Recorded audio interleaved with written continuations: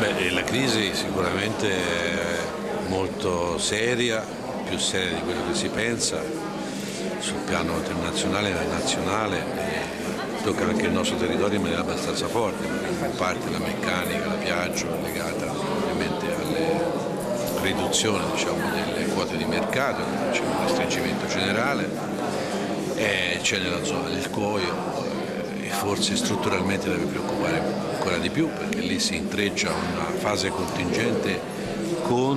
una eh, diciamo, crescita di competitività internazionale rispetto a quel settore che ci può mettere in difficoltà.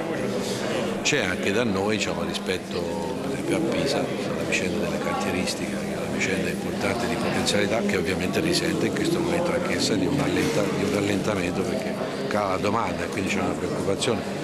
il, il, punto reale è che oggi in Italia c'è tuttora una risposta in termini di politiche nazionali che è nettamente inadeguata, insufficiente e sbagliata per dare una risposta.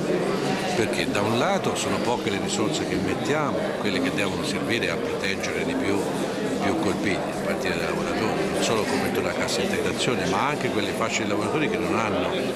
la protezione della cassa integrazione. Ci sono quelle piccole aziende che non hanno la cassa integrazione, ci sono lavoratori precari che non hanno nessun tipo di protezione,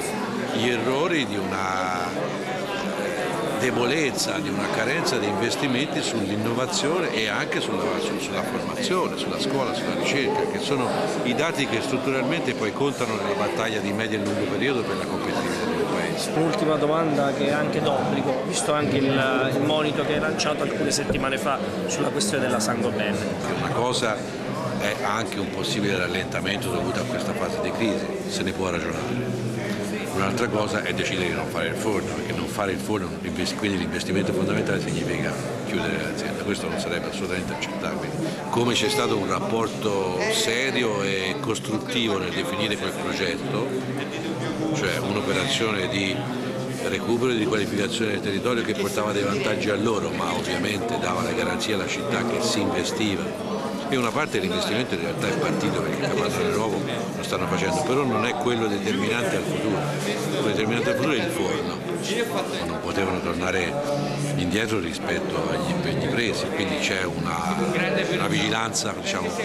costante e metteremo in campo con la sua evoluzione tutti gli strumenti possibili per cercare di salvaguardare alla città questa presenza industriale che è importante.